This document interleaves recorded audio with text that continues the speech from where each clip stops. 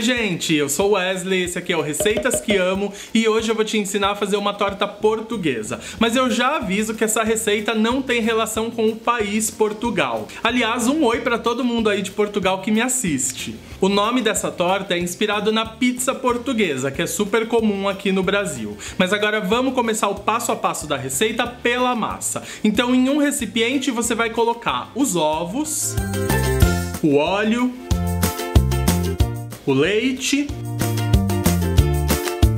e o iogurte. O iogurte é essencial nessa receita. A acidez dele ajuda a potencializar o efeito do fermento e deixa sua massa mais fofinha. Então não deixa de colocar que é super importante. Mistura tudo muito bem.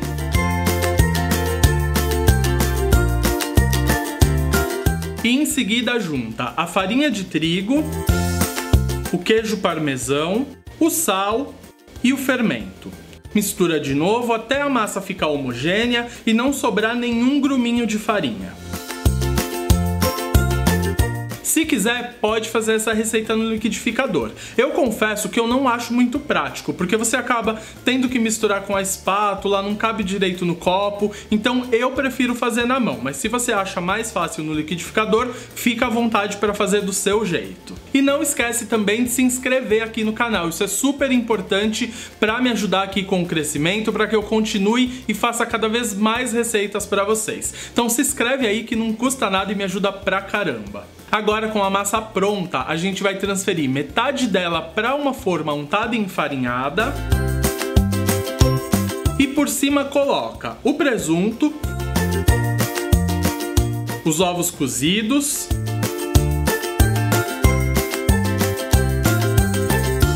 palmito, as ervilhas, cebola mussarela e uma pitada de orégano. Por cima vai o restante da massa.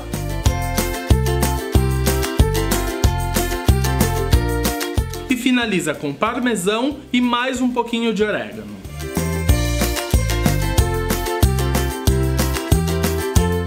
Agora leva para assar em forno pré-aquecido a 180 graus por mais ou menos 35 a 40 minutos ou até que espetando a sua torta com um palito ele saia limpo e você perceba que ela tá bem cozidinha.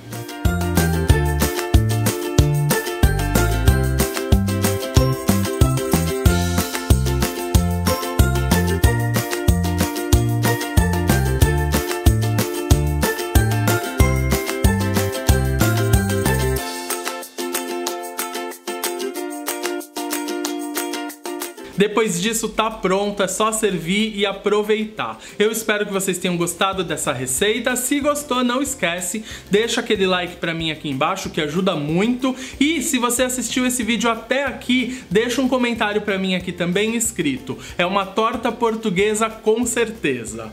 Um beijo e até a próxima receita.